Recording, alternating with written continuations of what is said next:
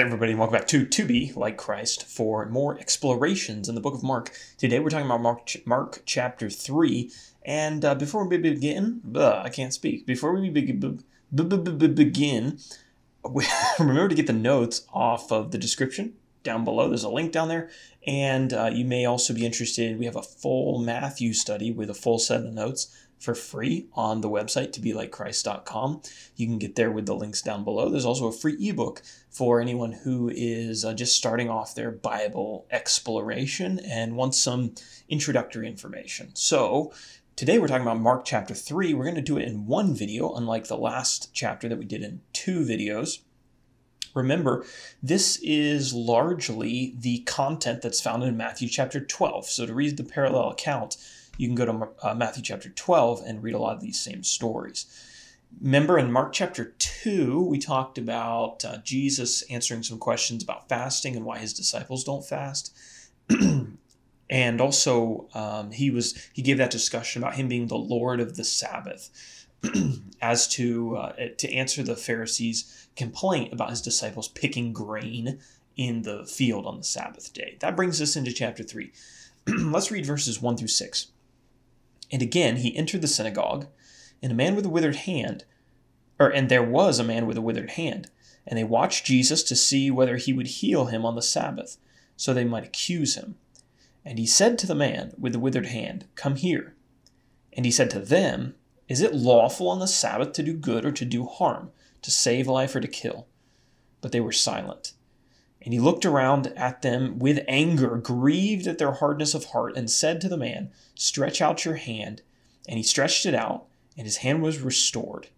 And the Pharisees went out and immediately held counsel with the Herodians against him, how to destroy him.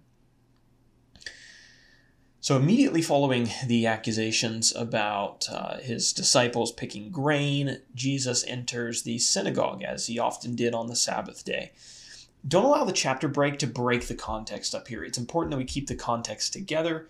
That way, it, it gives us a better understanding of these texts individually if we keep them all together. so while Jesus is in the synagogue, there's a man who comes in and he has a withered hand. And this is probably some type of paralysis or some type of deformity where uh, this, this man's hand doesn't work correctly. You've probably seen someone like this before. And notice where the attention of the Pharisees is directed in verse 2. This is important to understand why Jesus is so angry at them. In, uh, in verse 2, it says, And they watched Jesus to see whether he would heal him on the Sabbath so that they might accuse him. Their attention is not on the man with the withered hand. Instead, their attention is locked on Jesus because they're actually looking for a reason to accuse him of doing something wrong. And I think there's some good application here about where our attention ought should, ought, ought should be. How about that? Ought to be. Both for Christians and non Christians, people inside the church and outside the church. Christians sometimes are so bent on um, catching and calling out doctrine breakers, and their attention is not on people who actually have needs, who need help, whether that's help physically or whether it's help spiritually. Maybe somebody who isn't a Christian, they can fall into this as well. When we're constantly focused on the negative, what people are doing wrong, instead of what people are doing right uh, or what we could be doing that's right. A lot of the problems in the world aren't problems because people don't have the time to solve them. It's because their attention is devoted to something else. Maybe that's their attention is devoted to something because they're disinterested in that problem or maybe it's it's too focused on what everyone around them is doing wrong rather than on what they could be doing to help the situation. So here the Pharisees have that same problem and I think that's we we it's very easy to fall into that ourselves and to get into that kind of a mindset. We're always pessimists and we're always looking at at other people's always trying to catch people so that maybe that makes us feel better about ourselves. You know what would probably make us feel better about ourselves is if we help somebody in need. Uh, that typically works when I do it. Uh, it makes me feel a whole lot better about myself than when I'm critical of somebody else. Jesus, though, is just unconcerned with their critical stares, and he calls the man to him. And then he speaks this bold and blatant challenge to the Pharisees. So he says to the man with the withered hand, Come here. And then he looks to the Pharisees and he challenges them and he says, Is it lawful on the Sabbath to do good or to do harm, to save life or to kill? It basically, is it okay for me to do good on the Sabbath? And Jesus has just answered this question when he gave the discussion about his disciples picking grain on the Sabbath. He conc- the conclusion was it is right to, to, to do good on the Sabbath. Doing good on the Sabbath is not a violation of Sabbath law. Uh, and so you see the stubbornness and the thick skulls of the Pharisees. They've just been corrected by Jesus a few moments ago in the grain field. Now they're in the synagogue and they're falling into the same error that Jesus was correcting them for before. Uh, is it right for me to do good on the Sabbath? Answer yes, it is. Uh, and Jesus has decreed that he is the Lord of the Sabbath and has the authority to say what is good and bad. And you remember that he uh, had mentioned that God desires mercy rather than sacrifice. And I think this is an occasion where that statement um, plays out in real life. So they're waiting and watching to accuse Jesus, but uh, before Jesus performs the miracle that they're anticipating, he turns to them and basically shuts down. he destroys the foundation of the accusation that they're anticipating making. Uh, and this is not the first time that Jesus would read minds to uh, destroy counter arguments or accusations to his actions. The text says that Jesus was angry. And I think it's important to note that because a lot of times when we think of Jesus being angry, we think about Jesus overturning tables in the temple. If you don't know that story yet, we'll get there. But uh, because it's, this outward display of Jesus' anger, but here it says that he's angry at them, angry at them because of the hardness of their hearts. Why was that? Well, they were taking God's law, they were twisting it, and they were using it as an excuse not to treat people well. And they looked down on someone, namely Jesus in this case, who used God's law to treat other people well. God cares about people. He doesn't today, he did then. How do we know that God cared about people? Well, because they had a law in the first place, right? why would God give bother giving a law to human beings if he didn't care about them? If he didn't he wasn't seeking their good? Well, he wouldn't. He'd just be like, "Well, go off and do your own thing and get yourself killed or you know, all the consequences of sin are out there. Go, you know, ruin your lives on those." No, but God gave us instruction for how to live properly uh, on the earth. So the law is an indication that God cares. They're twisting that law to mistreat people and that's a problem. And Jesus is angry about it. Jesus asked the man to stretch out his hand, and, he, and so he stretches it out, and it was restored. Jesus healed it uh, to be a healthy hand once again. I want, I want you to think about the setup for this miracle and kind of the backstory behind this. It's not in the biblical text, but it's it's implied or at least spoken about by all the other uh, the creation account and many other scriptures. But think about the setup to this. So uh, let's look at two truths. Truth number one is that Jesus created this man. Okay? Bible tells us that God created everything. So Jesus created this man. That's truth number one, pretty obvious. Jesus knew when he made this man that he would have a withered hand. Right? Yeah, he knew that he would have a withered hand. Jesus also knew the day would come when he would meet this man in this very synagogue and heal and he would heal this man's hand. And this miracle was designed to bring glory to God and it was evidence of Jesus' identity to those who witnessed it. Pretty straightforward, right? Okay, so truth number two then is this God created you, and God created me. Jesus knew when he made you what difficulties you would struggle with, what handicaps you might have, what challenges you would have in your life that maybe are unique to you and nobody else has. God knew that when he created you. what if he intends you to exist with all of your weaknesses for a similar reason to the man with the withered, hand? So that God can, can overcome those weaknesses. So God can be seen in overcoming those weaknesses. So that people would look at your life and praise God in his work through your weaknesses.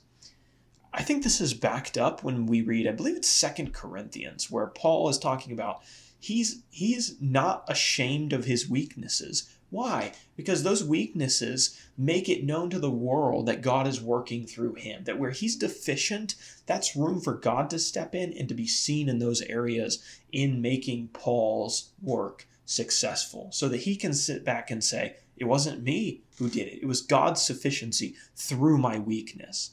And so, uh, your life, perhaps God created us the way that we are, or, or, or, created us even in light of who we would be and the challenges that we would have, the struggles that we would have, so that our lives would evidence His presence to those who witness it. That our lives would evidence the presence of God, making us sufficient where we're weak. Um, to the people who look at our lives and and witness them. Same principle as the man with the withered hand. I think that's a fair parallel, and I think it's true that God does work through us that way.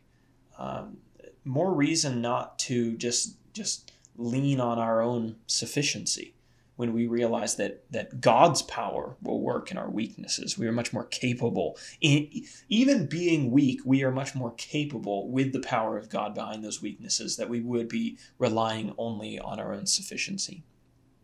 So then, in our scene, the Pharisees, you know, they bow down and they they're like, "Oh, we repent of everything we've ever done. Uh, forgive us," and they worship Jesus. Well, not exactly. uh, the Pharisees, when they had just witnessed the power of God. A man with a withered hand. Maybe they had seen this man before, um, and his his hand is healthy now. I mean, an unexplainable set of events outside of miraculous power. And how do they respond? They go about making plans to destroy Jesus. And you might ask, how on earth could somebody possibly respond that way? They had observed God's power but all that they were concerned about was their own power and their own influence and what Jesus was going to do to their own power. Jesus was stealing their influence and authority, and they didn't like it. Rather than accept Jesus, they plotted to get rid of him. And I know it's really easy to look down on the Pharisees for doing this and to be really harsh in our judgment towards them, but I think a lot of us probably struggle with the same thing. Maybe you're outside of Christ or, or not a member of the church, and maybe this is this is you we're maybe you're struggling with this same thing, and you might say, "What do you mean? I haven't seen anyone do a, a miracle uh, today. No withered hands have been healed in my presence." Uh, but this is a dilemma that all of us struggle with when coming to Christ. The willingness to accept our unimportance in the light of God's importance, to accept our weakness in the light of God's strength, to be willing to give up our authority and to realize that there's somebody far greater than us running this show that my life should should be submitted to. That's a really hard thing for human beings to swallow because we like our autonomy to be the person who's in charge of our own lives and to be able to dictate the details of our own lives. And Christianity demands that we give up that autonomy or perceived autonomy in order to submit to a God who uh, is really the one in charge and really the only one who can give us a life worth living. The Pharisees had verifiable evidence right in front of their faces, and they still chose to run in the opposite direction. And maybe you're doing the same thing. What are your reasons for not accepting Christ as the Savior, as God, as someone who's who should be uh, followed? What are your reasons? Maybe maybe you think you have good reasons. Let me tell you that there are good reasons to believe in Christianity. There's verifiable evidence of the fact that Jesus is who he says he is, and that his identity can be confirmed. Uh, or, or maybe it's not that. Maybe it's not that you have a, a well thought out, logical argument for why you don't believe in God. Maybe your reasons really at the roots are you don't want to surrender to God. you don't you don't want to have to turn your life over to somebody else and have him instruct you on how to live because you treasure being able to determine that on your own. That was the Pharisees' problem in part. And I think one thing to recognize at the end of the day when we're stuck in that dilemma is that human sovereignty, human uh, autonomy is really an illusion. We either submit to God willingly or we submit to God uh, without knowing it. And the Bible shows us that over and over and over again. So many examples in the scriptures. People like Pharaoh back in ancient Egypt, Nebuchadnezzar, Cyrus, uh, Judas, the betrayer in Jesus' story, the Pharisees themselves, uh, Pontius Pilate. Here's, here's individuals who were not consciously uh, followers of God. Some of them were hostile to what God was trying to do. Uh, but God knew about their hostility. He knew they would reject him, and he used their actions, like the Pharisees in killing Jesus, ultimately to work about his plan of redemption. They thought they were escaping the sovereignty of God. They weren't going anywhere. God had them perfectly where he, well, not where he wanted them, but uh, he used them perfectly, even through their rebellion to him, to accomplish his will. You're not going to be able to fight the sovereignty of God. He's going to accomplish what he wants to accomplish. And so you either submit willingly, or he'll just use you anyway. And, uh, you know, the difference, though, is the outcome. If we willingly submit to God, uh, then, then we'll have salvation in the end, being one of his children. If we don't, then the ultimate outcome is much worse. Okay, so let's read now verses 7 through 12. Jesus withdrew with his, his, his disciples. tried to combine apostles and disciples there. Depostles. Depostles. Jesus withdrew with his disciples to the sea, and a great crowd followed from Galilee and Judea, and Jerusalem and Idumea, and from beyond the Jordan, and from around Tyre and Sidon.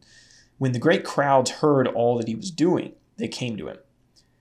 And he told his disciples to have a boat ready for him because of the crowd, lest they crush him for he was healing many, so that all who had diseases pressed around him to touch him. And whenever the unclean spirits saw him, they fell they fell down before him and cried out, You are the Son of God. And he strictly ordered them not to make him known. Jesus' popularity is growing, and people are coming from all over Palestine and, and, well, really all over the place to hear him preach and to be healed by him. I have a map there in your notes that shows some of the areas that are mentioned. You see Idumea down, Idumea down in the south below Judea. That's that's almost hundred miles from Galilee. So that's no, I mean that's going to take at least a couple days walking. Um, that's like from that's a long ways. That's 100 miles is a long ways. And people are coming this far to see Jesus. And so, no doubt, you know, it's not just things don't only spread on social media, they spread pretty quickly by word of mouth in these days. And that might give you an idea of just how massive these crowds must have been. If people were coming from 100 miles away, uh, there must have been a lot of people there. And he was healing them, he was casting out demons. And we saw in a previous passage, and we see it again here, that Jesus is not allowing these demons who know him to call out his identity. Jesus hadn't revealed his identity yet. He didn't intend to. And his miracles are building the case for an identity that's going to be revealed later on in his ministry. So, evidently, the size and the zeal of these crowds was so great that Jesus was, it says he was being crushed. There were so many people pressing in to, um, uh, to be healed and to touch him that uh, it was just madness, right? And so he has this, this, this boat prepared by his disciples so that he can kind of get away from some of this. And other gospel accounts tell us that he would preach from boats sometimes. And you can imagine how hard it would be to preach when people are always like pushing their way. You know, people are coming all out of the countryside and and, and pushing through these big crowds to try to get to Jesus to try to be healed. Uh, it's pretty hard to to teach or to preach when somebody's you know got their touching you all over the place. That's a little distracting, and so uh, he, he he gets in this boat and uh, to avoid being crushed. That's what the text says. Let's read verses 13 through 21 now. And he went up on a mountain and, and called to him those whom he desired, and they came to him. And he appointed twelve, whom he also named apostles, so that they might be with him, and he might send them out to preach, and have authority to cast out demons. And he appointed the twelve Simon, to whom he gave the name Peter, James, the son of Zebedee, and John, the brother of James, to whom he gave the names Boanerges, or, or Boaner, but we'll go with Boanerges that is, sons of thunder. Andrew and Philip and Bartholomew and Matthew and Thomas and James the son of Alphaeus and Thaddeus and Simon the Zealot and Judas Iscariot who betrayed him. And then he went home, and the crowd gathered again so that they could not even eat. And when his family heard it, they went out to seize him, for they were saying, He is out of his mind. so Jesus goes up onto a mountain and from these multitudes of people who've been following him, he chooses 12 men to be his apostles. And the term apostle just means sent out. And that makes sense because of verse, where is it? Verse 14, which says that he would send them out to preach and to cast out demons and to work miracles. And these 12 men would play a pivotal role in the establishment of the church. We'll read about that in the book of Acts. They had privileges and access to Jesus that many other people, well, that all other people didn't have. He would take them to places to see signs that others didn't get to see. He would reveal insights about his work and his ministry and his intentions to them that were not made widely available to the public. And he would explain things to them, like parables that others were not privy to. And he gave them miraculous powers. We'll, we'll see that not only in Jesus' time on earth, but also after Jesus goes back to heaven and we get into the book of Acts. so these are the 12 apostles Simon, who Jesus named Peter, which means a stone, James, the son of Zebedee, John, his brother, also the son of Zebedee, and Jesus gave them the name Boanerges, which means sons of thunder.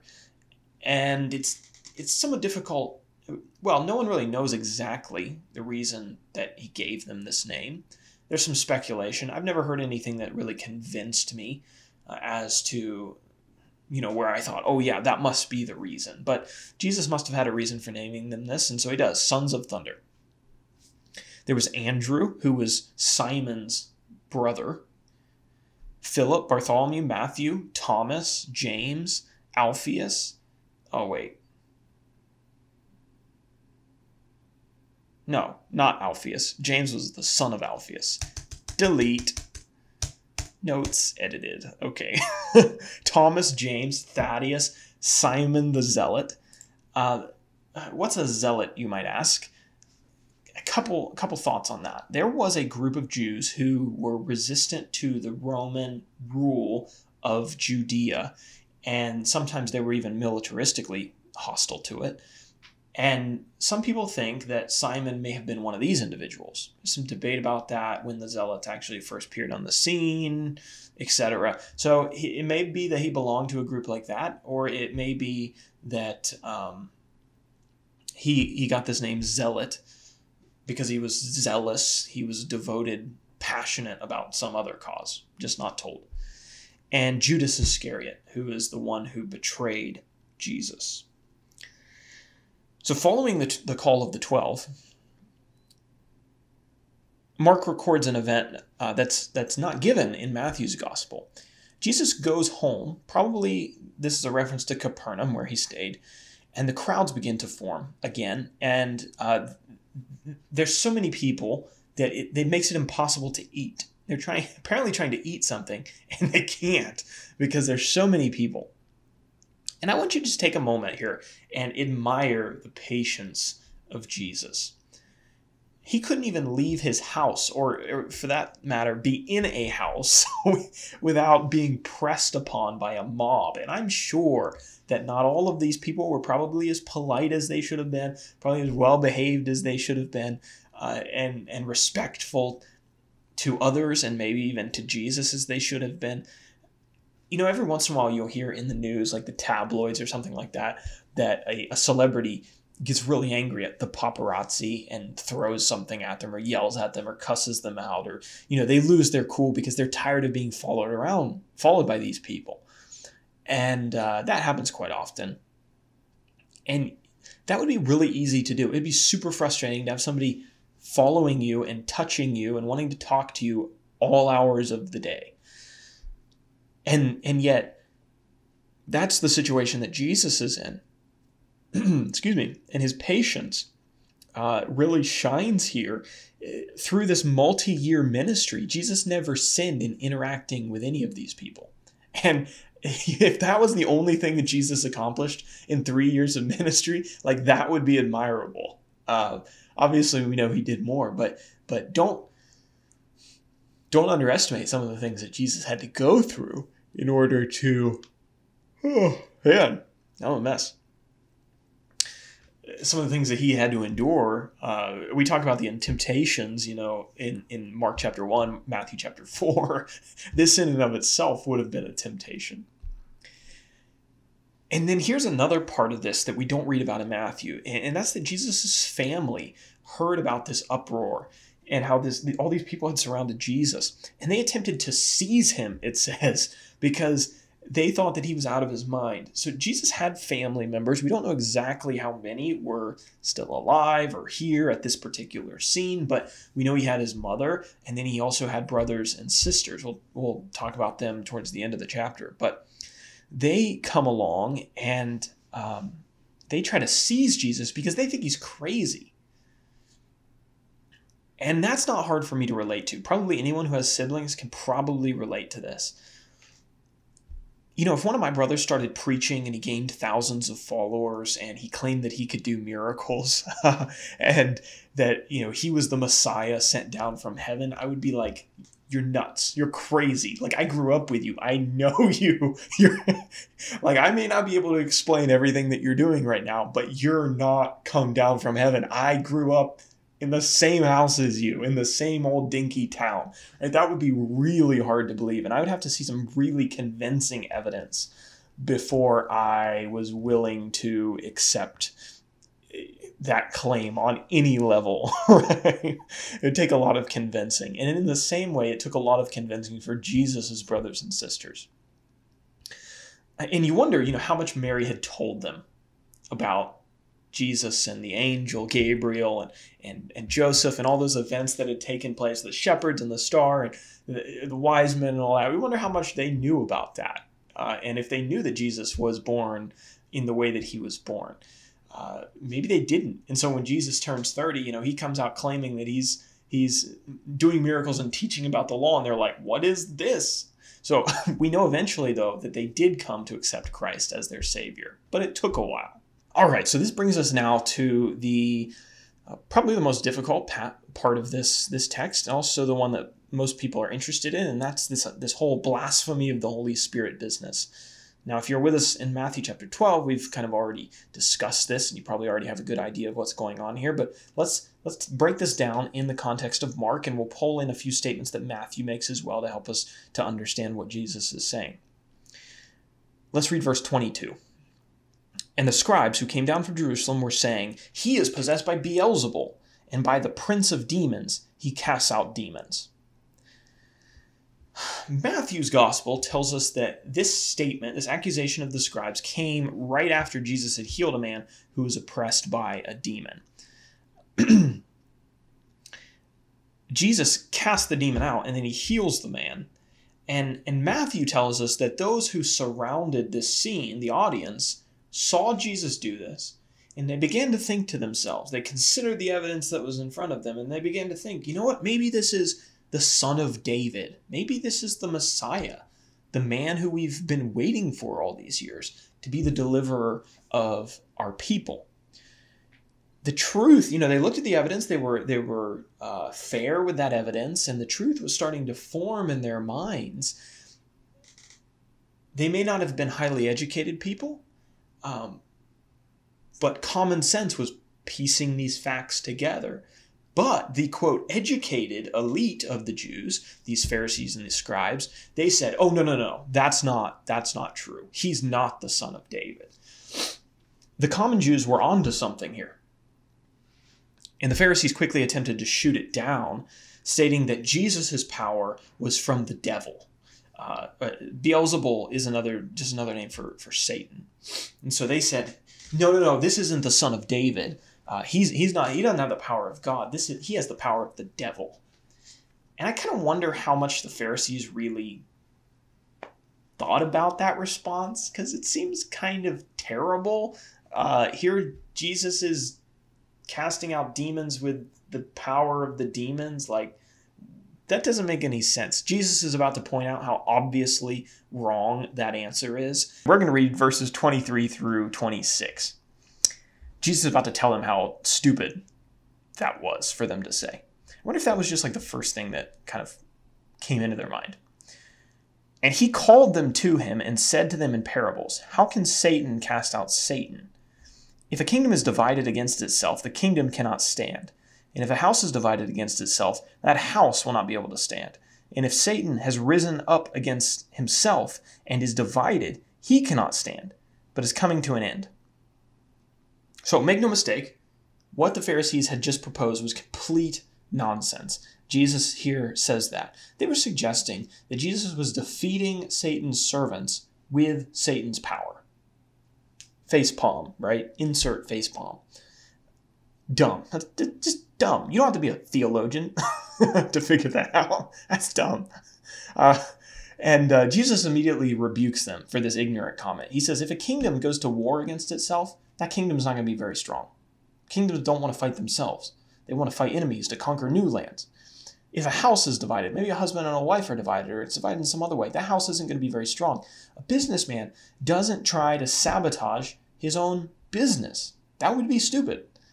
Satan is not ignorant enough to go to war with himself and cast out his own servants with his own power. So now that we've established the stupidity of that, let's read verse 27.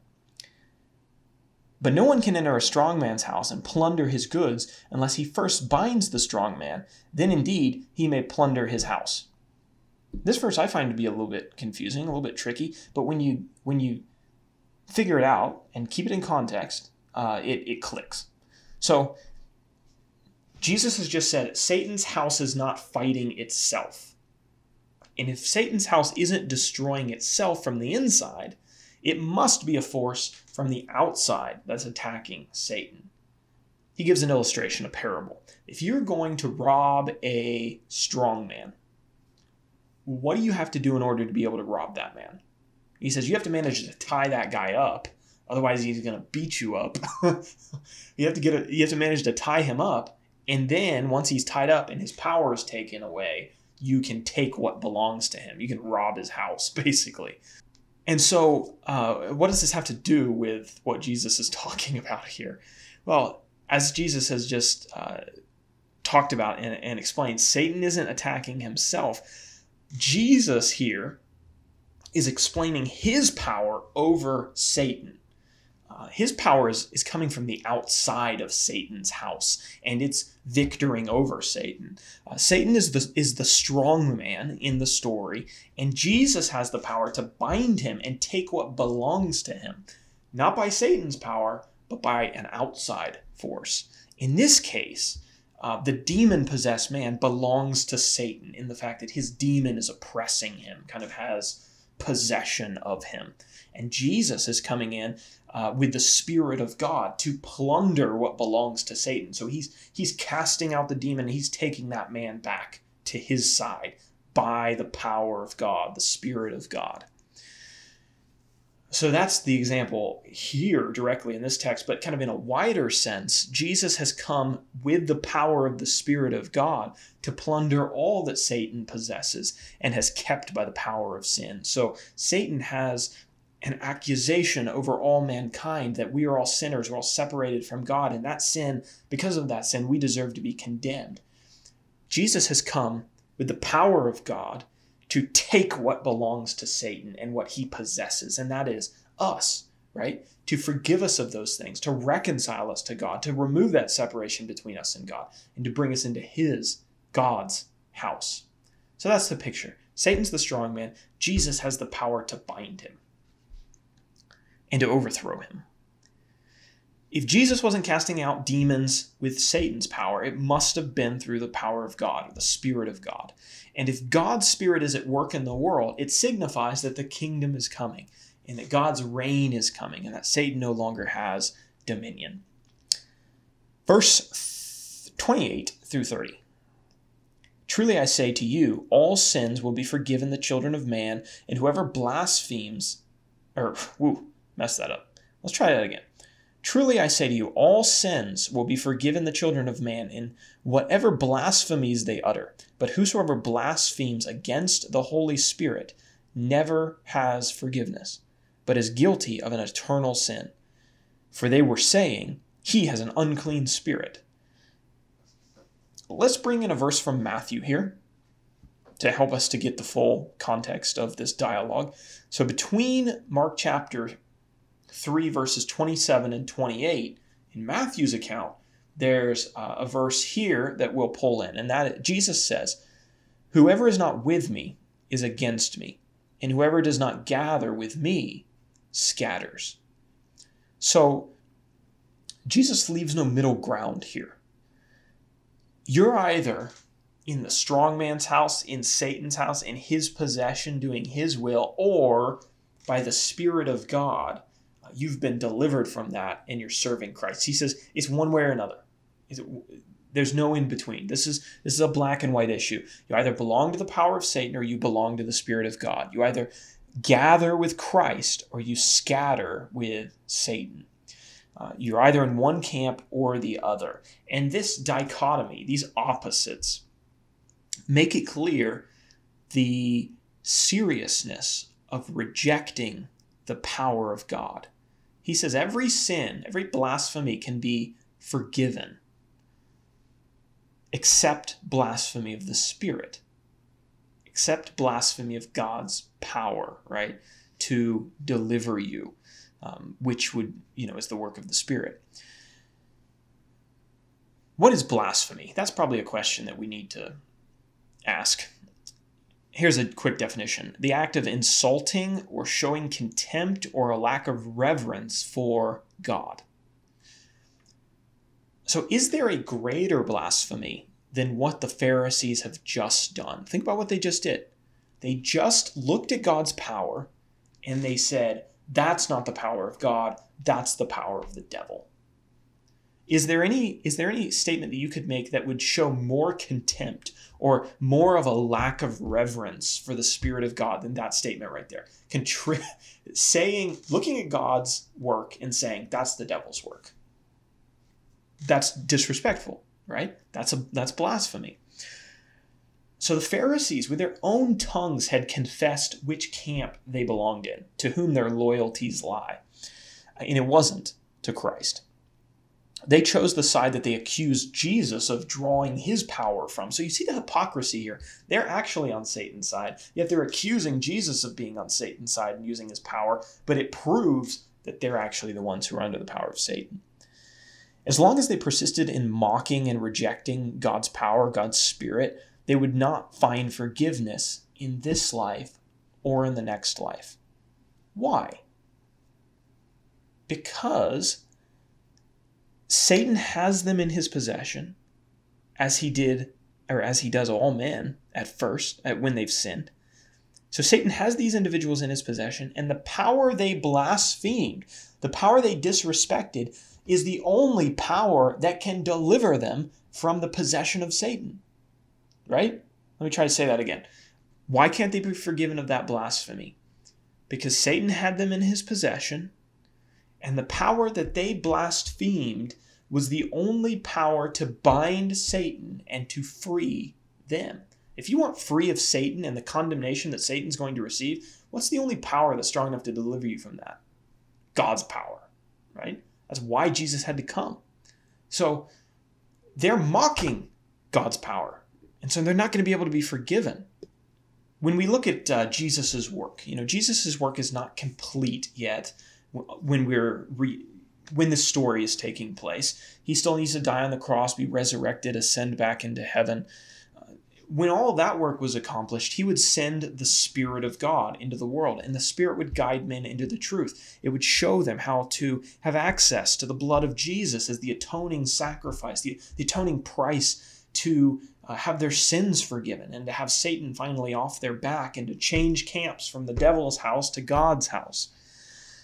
And we know that many Jews who had mocked Jesus, and even the ones who had, had cried out to have him crucified, when they heard the Spirit preaching through Peter on the day of Pentecost in Acts chapter 2, they repented and they were forgiven of their sins and baptized into Christ.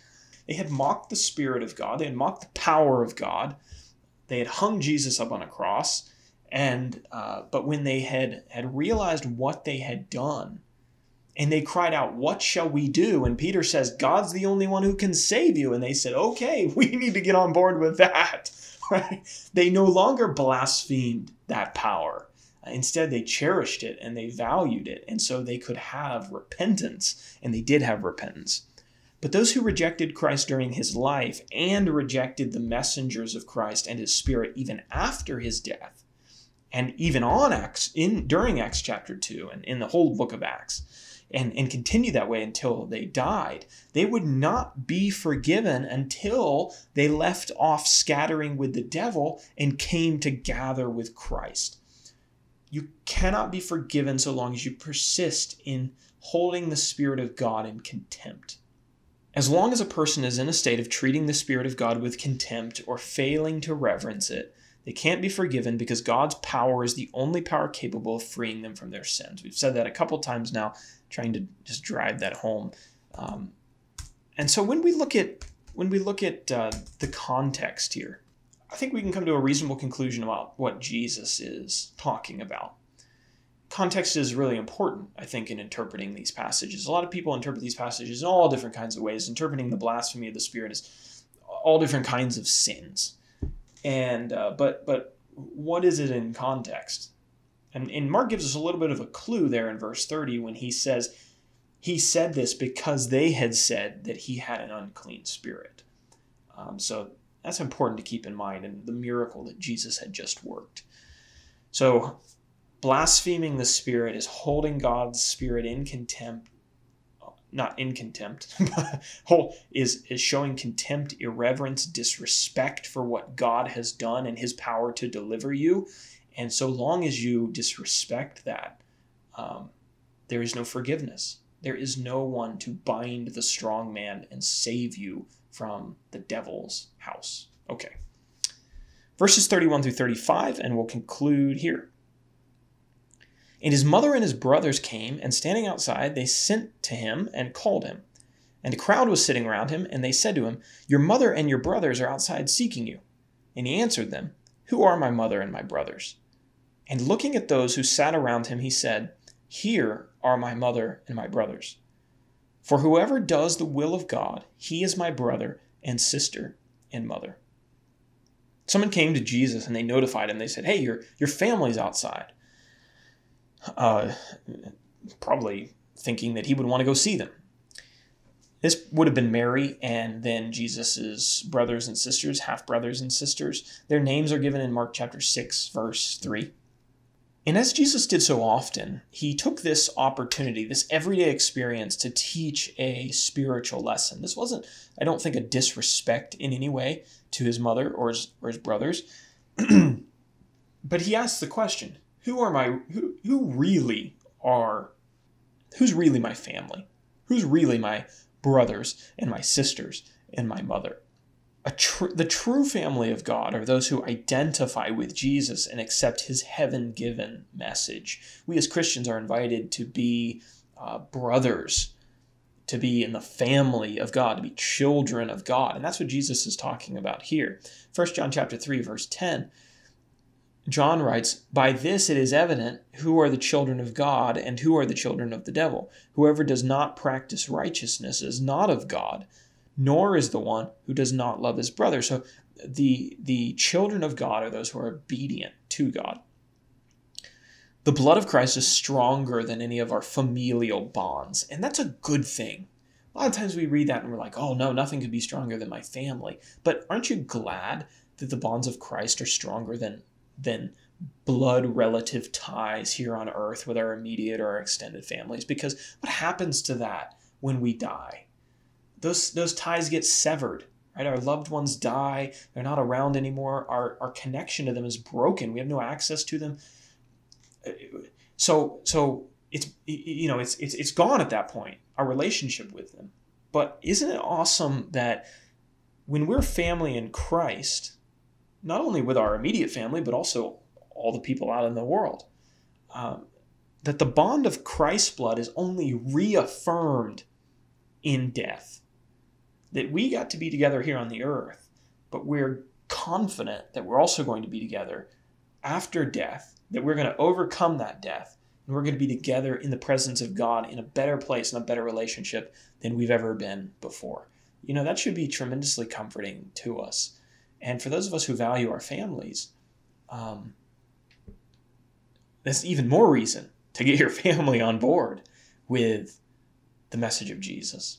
And if there's somebody who's who's urging you to come to Christ, and maybe they're a Christian, uh, this is part of the reason. It's because they don't want that that that bond of love to be severed upon your death or their death. They want it to be able to continue on into eternity. So that's Mark chapter three. Um, we have all those resources online, so I'd encourage you to go get those. And uh, I think that's all we got today. A little bit did one chapter about 45, 50 minutes, not too bad. Hoping to make that more of a consistent pattern. So I will uh, see you guys for Mark chapter 4 in two days. See ya.